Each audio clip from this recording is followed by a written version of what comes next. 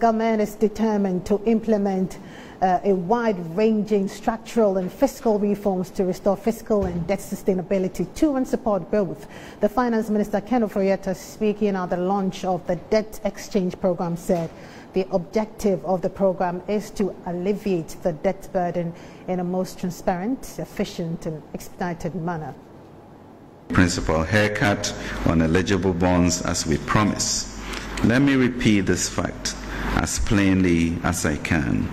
In this debt exchange, individuals holding domestic bonds will not lose, are not affected um, by the value of their investment will be retained. So let us remove any doubt and discard any speculation that the government is about to cut your retirement savings or the notional value of your investment. This is not the case. As already announced, Treasury bills are completely exempted and all holders will be paid the full value of their investment on maturity. There will be no haircut on the principal of bonds. Individuals who hold bonds would also not be affected at all. Our domestic debt operation involves an exchange for new Ghana bonds with a coupon that steps up to 10% as soon as 2025, with zero interest in 2023, and the first interest payment in 2024, and longer average maturity for the bonds. Joining us via Zoom is economist Daniel Anim. Good afternoon to you. Mr. Anim. are all these strategies by government to help get favor from the IMF? Uh, good afternoon. Uh, yes, as part of our negotiation with the IMF, there's the need for us to come out with a debt sustainability program uh, to show how government is going to manage the current debt stock and also ensure its sustainability. So it is, it is part of the program submitted by the Ministry of Finance to the IMF. And I'm sure the IMF has given it yes. and that's the reason which the minister is pursuing it as, as part of, of a, a, new policy or as part of a, a wave for reviving the economy in that particular space. Now, Mr. Andy, with all the measures in place, who are those who will be affected? Yeah, I think the minister has clearly stated right. that uh, individuals holding the treasury bill will not be affected.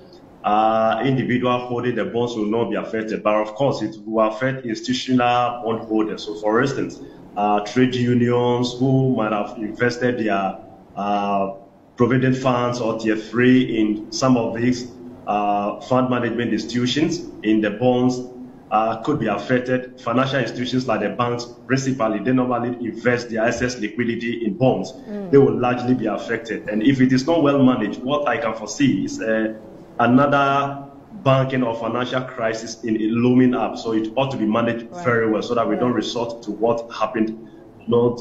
Uh, uh, not to repeat what happened during right. the, the banking uh, crisis that we, we had. Right, right. And, and should, should we panic, those of us saving at the bank, should we panic?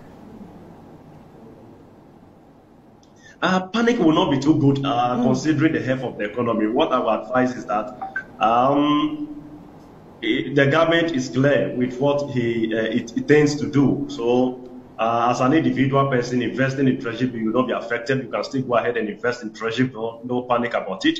Individual holding bond, you shouldn't panic. Uh, it won't affect you. Uh, but what, as a citizen, what we should uh, be mindful of is that uh, the banks may not have excess liquidity for onward lending to businesses. Mm. And I think that's the reason why the finance ministry is trying to find out how the regulators can assist in, in that particular process. So in terms of panic right. as an individual, I don't think there's so much panic.